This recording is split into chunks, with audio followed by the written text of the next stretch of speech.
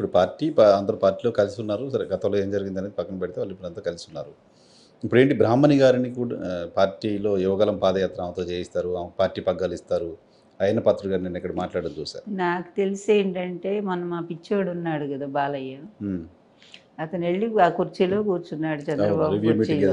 ఆ రోజే ఆంధ్రజ్యోతి ఎక్కడ పేరు కూడా లేకుండా న్యూస్ ఇచ్చారు. ఎక్కడ బాలయ్య పేరు లేదు బాలయ్య మాట్లాడిన మాటలు లేవు. ఆ చనిపోయిన వాళ్ళని ఎవరో వీళ్ళు సృష్టి చేశారు కదా శివరాజుకి. వాళ్ళని కలుస్తారని మాట్లాడిన ఆ మాటలు లేవు. ఓ గ్రూపులో ఎక్కడో చివరి ఆయన ఫోటో వేశారు పేరు కూడా రాయలే.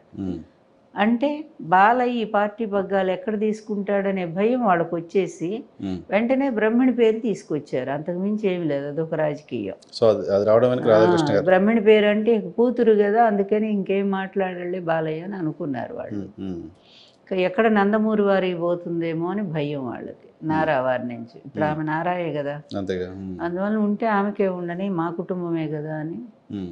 ఉందా నందమూరి కుటుంబం? దాన్ని ఏదో పార్టీని టేక్ ఓవర్ చేసుకోవాలి తీసుకోవాలనేది ఉందా అసలు అటువంటి? బాలయ్యలో ఉంది నాకు తెలుసు అది దాదాపు మూడు నాలుగేళ్ళ నుంచి ఉంది. ఇద్దరు కూడా పలుక్కోలేదు మధ్యలో గొడవలు అయి బాగా. ఎవరెవరికి? బా వియ్యంకులు ఇద్దరు బాలకృష్ణకి చంద్రబాబు నాయుడు గారికి? చంద్రబాబు నాయుడు. చాలా గొడవలు అయినాయి మా నాన్న అన్యాయం చేసావని కూడా తిట్టాడు. సరే అన్నీ అయినాయి గొడవలు ఎందుకు వచ్చినాయో తెలియదు కానీ బాగా గొడవలు అయినాయి చేసి అతను ఆలోచనలో ఉన్నాడు. ఈ పార్టీని ఎట్లయినా సరే మళ్ళీ మేము తీసుకోవాలని ఒక ఆలోచన అతను అన్నాడు. నేను ఉన్నాను నేను వస్తాను మీ దగ్గరికి నేను ఉమ్. కలుస్తాను నేను అండగా కలిగింది. ఇక అప్పుడు వీడేం చేశాడు? అతి తెలివి అతి తెలివి కదా? అదే టైంలో భువనేశ్వర్ని ఏదో అన్నారని అసెంబ్లీలో ఏడుపు. ఏడ్చి అర్థమైందా. అప్పుడుగా వాళ్ళు పలుకోవట్లేదు ఓకే. ఒక సానుభూతిని తన చుట్టూ క్రియేట్ చేసుకొని ఆ సన్నివేశానికి కుటుంబ సభ్యుల్ని ఇన్వాల్వ్ చేశాడు.